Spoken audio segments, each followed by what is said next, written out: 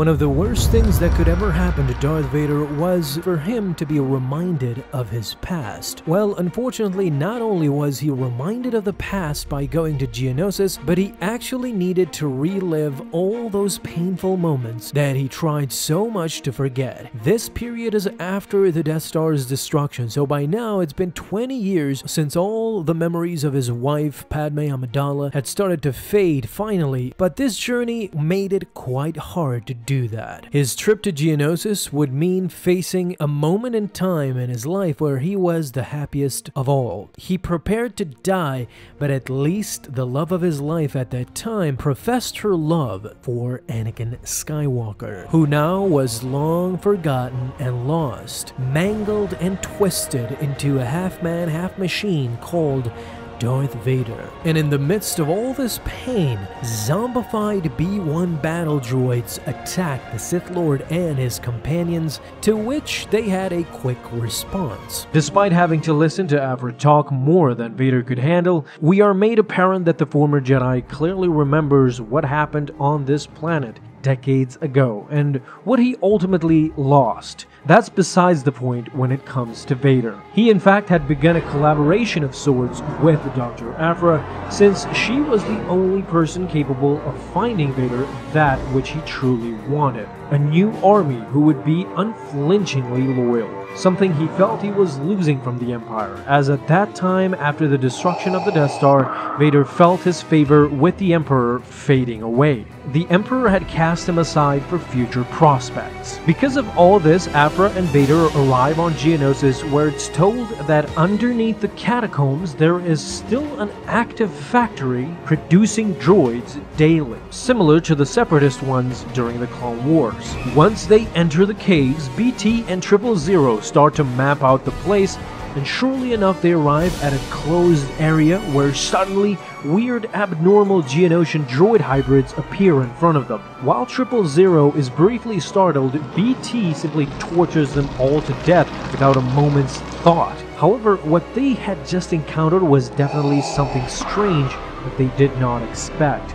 Aphra is simply fascinated. She goes on to examine these hybrid droids and clearly understands that there is an active factory still operating, still making droids. She comes to the conclusion that the Queen, as a desperate measure for her species not to die off, has been producing and reproducing these modified droids just as means of survival. They were not ready to witness what they saw next. The Queen had become a literal droid factory, reproducing eggs that would hatch out Geonosian B-1 droids, a hybrid if you will. Vader quickly jumped behind the Queen and amputated the part that was attached to the mechanical womb factory. Although the Queen was injured, she was not about to give up. She claimed that once they destroyed their past, but now the Empire wanted to destroy their future as well. The Queen yelled at her children to hunt these intruders down and kill them one by one. With the help of BT and Triple Zero, the army was torched just before reaching Vader, and once the Sith helped Aphra get the locator attached to the roof, the Ark Angel made an opening where Vader's personal Nubian starship came down and attached the mechanical factory which the Queen referred to as her womb exclaiming, screaming to bring her children back, that her empire was going to be forever, but with no avail. Lord Vader and Aphra left the system with what they came for, now the real work would begin. Not long after, BT and Aphra got it working successfully, creating a single BX series droid commando that Triple Zero examined.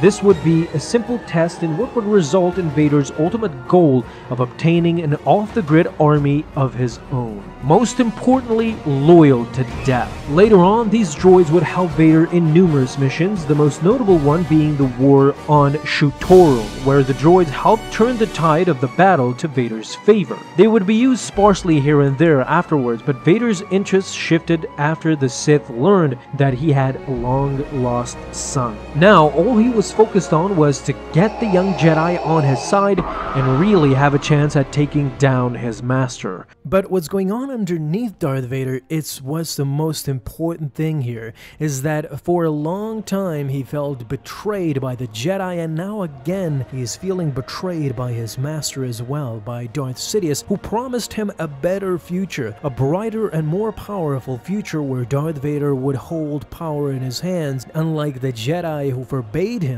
to grab that power with both hands. Anakin back then knew he was powerful enough to be the best Jedi in the Jedi Council and in the Jedi Temple alone, but he still believed in their disciplines and traditions that the Jedi had adhered to for thousands of years. Now, with Sith ruling the galaxy and Sidious granting Vader unlimited power, well, it did not turn out so great, as Sidious still manipulated his apprentice into just servitude to him and his new empire. And as you can see by these comics, 20 years later, he was still chasing his own tail. Darth Vader had had enough, and that's why he joined with Dr. Aphra in order to create a sort of a new empire of his own. Darth Vader wanted his own army, his own finances, and if need be, he would go up against his own master and destroy the empire that Sidious had built for all this time. Needless to say, Vader could have been successful simply because he knew the ins and outs of this empire and he knew the people necessary to be involved. Sadly, it never came to that, but it would be an interesting notion. In that, thank you guys so much for watching this video, and if you enjoyed, leave a thumbs up down below, subscribe for dailies. Now you have an awesome day, Star Wars fans.